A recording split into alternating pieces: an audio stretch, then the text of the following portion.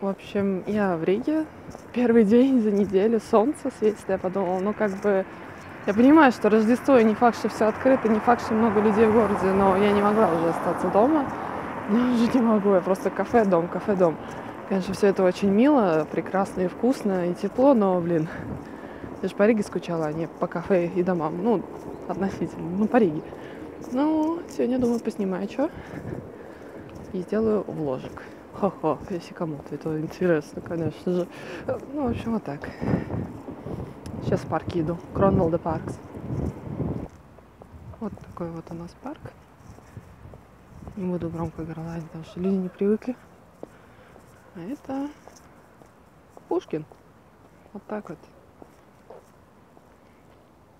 Как будто осень. Серьезно. Где снег? Я не знаю, те, кто были в Питере, это вам напоминает немножко Питер? Или те, кто живет в Питере? Потому что мне, я не знаю, мне напоминает. Я была там один раз. Да, относительно воды, то у нас такой вот канал идет, э, вытекает, не знаю, искусственно или естественным путем из реки Даугавы. И летом можно брать небольшую какую-то лодку на небольшую экскурсию, вот так вот плавать через все парки, ну не все парки, но через два или три парка в Риге. И такой вот, вот такой вот у нас. Никогда сама не пробовала, потому что мне не казалось это особо интересно, но променады вдоль э, этого маленького, маленького канала, они очень ничего такие. Вот, кстати, сбоку от канала находится национальный театр латышский. И там уже будет вход в старый город. Сейчас подойдем с другой стороны. Елочки на балкончиках. Низкопольный трамвай, который циркулирует только по двум линиям. А, и вот, моя самая любимая, это, собственно говоря, и вход, и выход, и вход, и выход. И вот эти ребята в шапочках. Вообще, я не могу. Ради них, на самом деле, пошла кругом.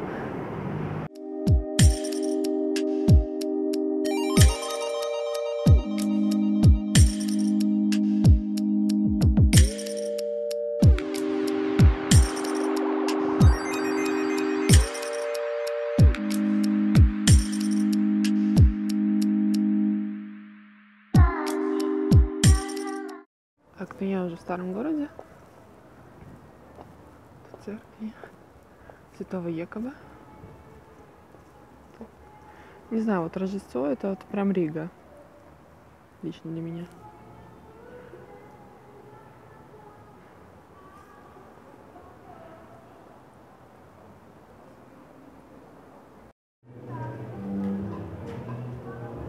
Это главная рождественская ярмарка в Риге. Burvīgi redzēt visus draugus šeit. No visas pasaules malām. Un ir liels, liels prieks.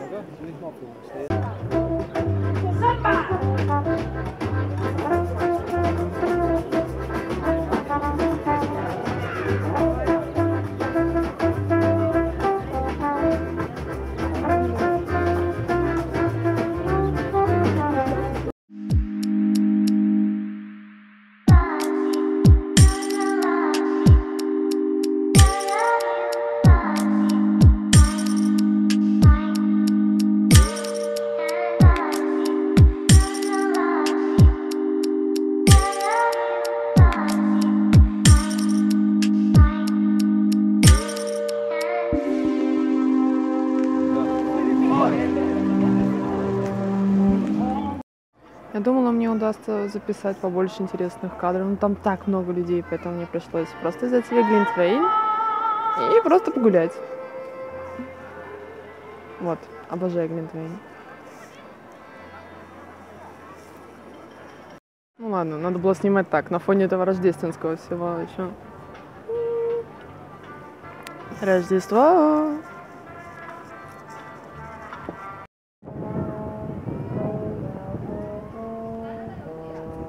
И динозаврик играет от Таненбаум.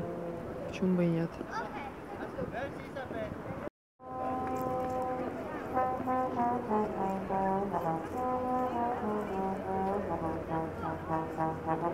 Я ранее сказала, что Рождество для меня это Рига, и сейчас объясню почему. Потому что первая елка в мире была установлена на этом месте в Риге в 1510 году. Вот такие вот дела. Была установлена здесь в прошлом, но в соседстве стоит другая. Это наша мэрия. Дом... Нет, это как? Это Ратушная площадь. И один из... одна из визитных карточек Риги – дом Черноголовых. Так, руки уже мерзнут, уже замерзли точнее. И я поняла, что веду себя как турист, хотя при этом я знаю все о каждом доме, каждую историю. Вообще, блин, это глупо. Иду, короче, пить кофе в том месте, где я раньше работала.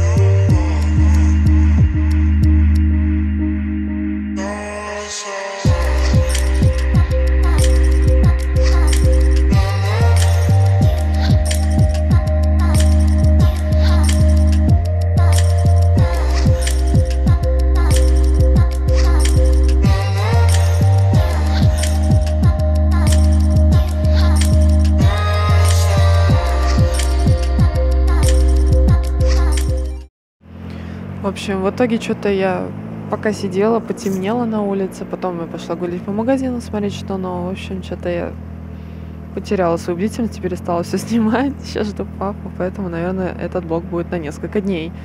Вот. Ладненько, чтобы он приехал.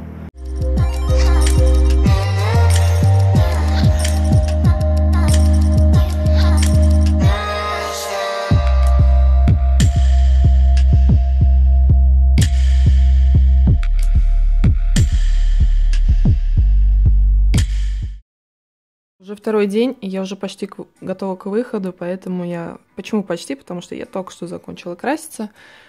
А, да, это мое любимое место, чтобы краситься, потому что у меня очень темная квартира, и боюсь, что подоконник в моей комнате — это самое натуральное освещение, которое можно здесь найти. Ой, это я, да, у меня новый телефон.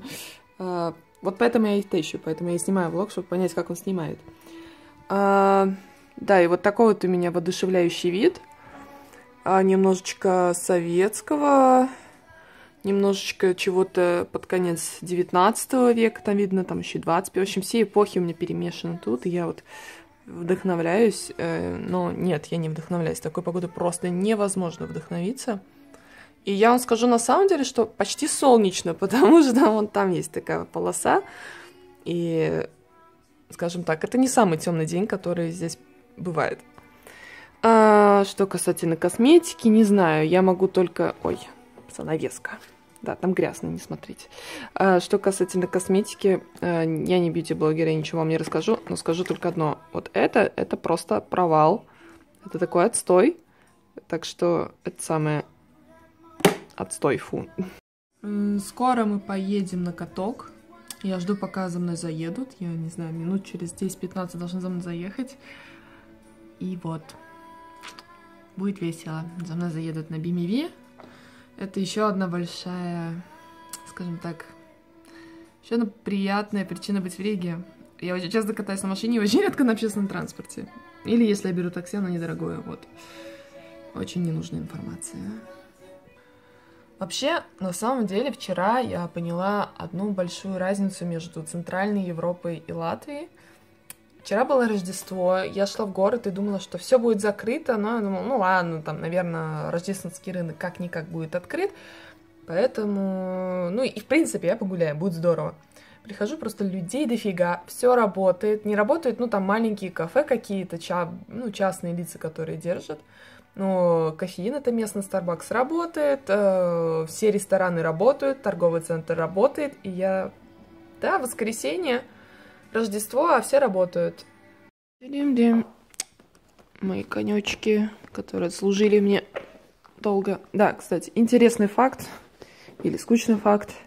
Я занималась фигурным катанием, и на этих коньках я и прыгала, и крутилась, и падала, и бросила заниматься фигурным катанием, когда я упала и на этих же коньках делала каскад из, из флипа и ридгербера, и упала и разбила себе копчик. Вот такая вот история.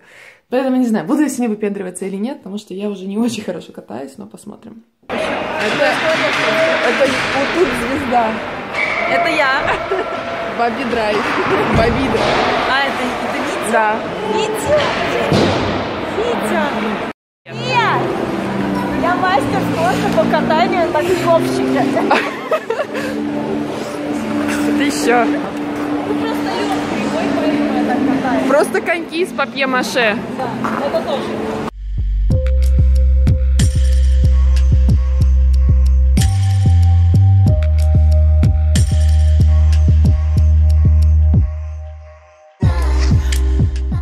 Начала снимать. И вот как бы мы вот так вот празднуем. Это обычно рижское застолье с книжками про пельмени на латышском. Потому что что? У нас один язык в стране. И книжка про овес. Посмотрите на этот дизайн. Ой, я задела хамон. В общем, это все, что я хотела сказать. В общем, ой, я так близко. Ой. Кажется, нельзя изменить размер лица. В общем, я пока снимаю, тут уже четвертый день влог. Снимаю. На самом деле я поняла, что, по-моему, это не совсем моя тема. Ходить и что-то трендеть по улице. Может быть, во Франции было бы легче, потому что люди не понимают в большинстве своем, что я говорю, а тут как-то все пялятся. Мне как-то неловко. Это раз. И второе, я когда даже путешествую, я никогда не делаю фотографии мест в первую очередь. Обычно я иду потом и второй раз по кругу по этому городу, и тогда начинаю делать фотографии, потому что мне кажется очень важно запоминать первое впечатление именно глазами, а не через призму фотокамеры, фотопленки, вот цифровых девайсов. Поэтому у меня очень часто я начинаю снимать что-то, а потом такая, блин, fuck that shit. Мне на самом деле хочется больше провести время с друзьями, или я больше поглощаюсь разговором, чем вот этим, ой, давай буду снимать тебя и ставить неловкое положение. Ведь тебе не повезло общаться с начинающим блогером. Поэтому, я не знаю, я еще сегодня поснимаю. Я надеюсь, будет интересно что-нибудь, но как бы я понимаю то, что это все очень сумбурно, но как оно есть. Не думаю, что буду продолжать часто такой ерундой страдать, но попытка не пытка. Пересмотрела видео и поняла, что у меня из-за этого освещения сбоку вроде как бы клевенько, а с другой стороны чуть не так клевенько, и лямочки блин, мне вечно торчат. Мне так нравится это платье, что я готова терпеть лямочки. Я начала с другого. Я хотела рассказать вам историю. Видите этого засранца?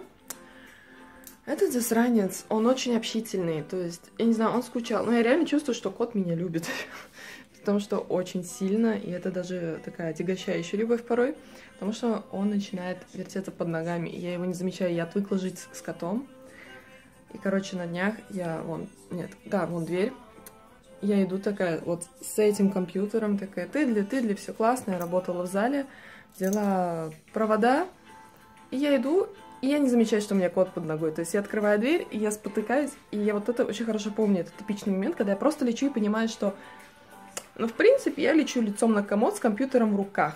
То есть, и, на, и, потому что спотыкнулась об кота, я просто поняла, что я сейчас разобью комп, лицо и раздавлю кота. И я просто такая, ну, очень классно.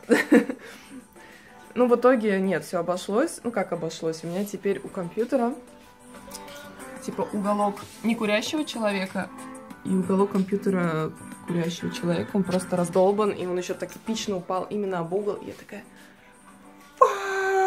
Но в итоге вроде бы норм. Поэтому он работает, но это, конечно, такой фейл. То есть, если бы дверь не закрывалась, если бы кота не было, если бы вот одного элемента всей цепи не было, даже если у меня не было бы проводов в руках, все бы обошлось. Но нет.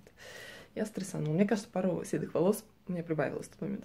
Вот такая вот история. Ладно, мне пора собираться выходить.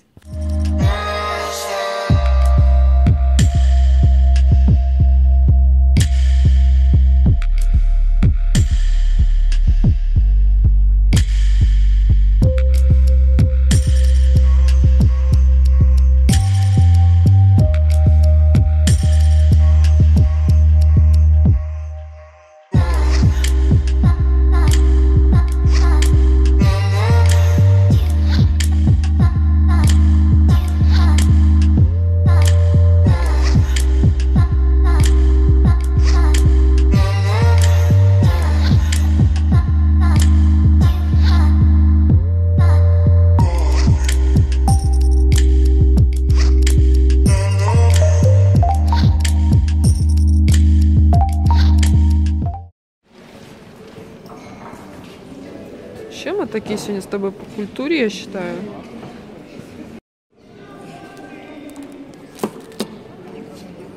Но гриб за 12 евро, это, конечно, из да, 12, 12 евро 30 центов. Ну, то есть, такое. Потому что попка того стоит.